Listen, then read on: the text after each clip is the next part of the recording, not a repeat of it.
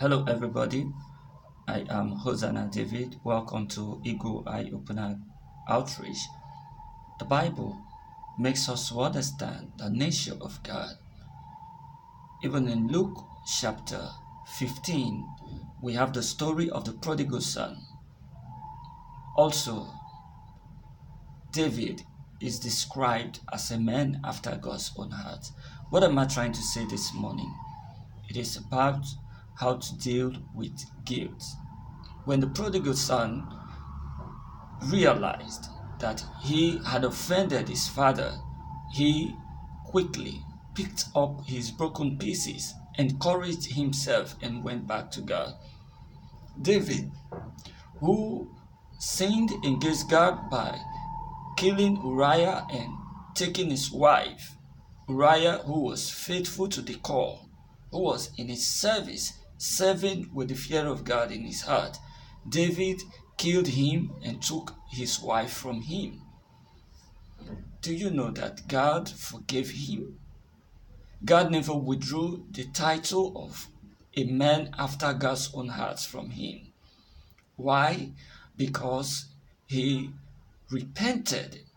A lot of times we are driven away from God because of our guilt. Guilt is good. It shows that our conscience, our heart is alive. One of the things, one of the ways you know that you have the Spirit of God is when you commit sin against God and you have guilt in your heart. It means that you have a living conscience.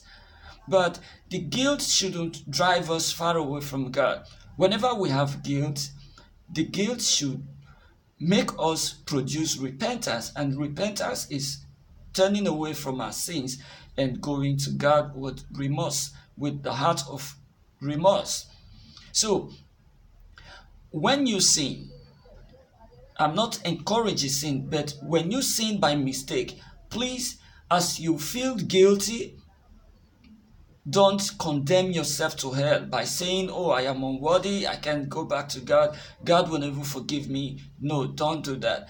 When you are sorrowful, the sorrow should produce repentance in you, and repentance should draw you back to God with humility. Remember that a broken spirit and a contrite heart, God will never despise.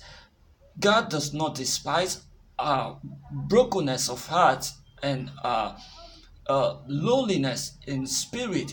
Those who thirst and hunger for righteousness, God will surely feel.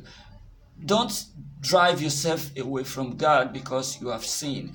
Whenever you sin, please always come back to God because the Father is always stretching his hand towards us and wanting to uh, bring us home to himself, just as the father of the prodigal son was always going out to look if the son will be coming. And remember, he was a person that ran to meet the son, even though the son said, I'm not worthy to be your son.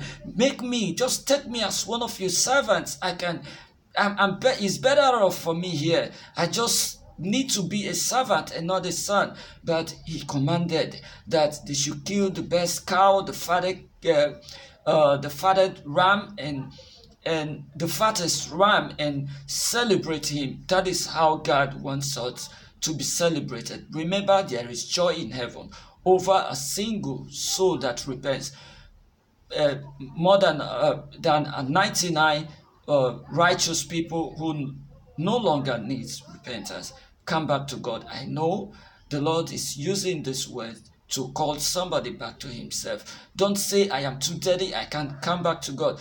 If the Lord meets you in your sin, it is going to be worse for you. It's going to be terrible. But if He meets you with a heart of repentance, then that is what God actually wants us to do. When God came down and saw Adam and Eve hiding themselves. The guilt drove them away. And he called, Where are you? He said, uh, I heard your footmarks, your your your your noise, the sound of your movement in the garden, and I hid myself because I know that I am naked. And God asked him, Who told you that you were naked? Just imagine a situation whereby uh, God entered the the the Garden of Eden and he saw Adam and Eve rolling themselves on the ground and confessing their sins to God, he, I think it would have been better for them. The judgment wouldn't have been as terrible as it is today. Please come back to God. Let not your sins, let not guilt drive you far away from God. If this message blesses you, if you find it useful, please share it and let somebody else listen to it.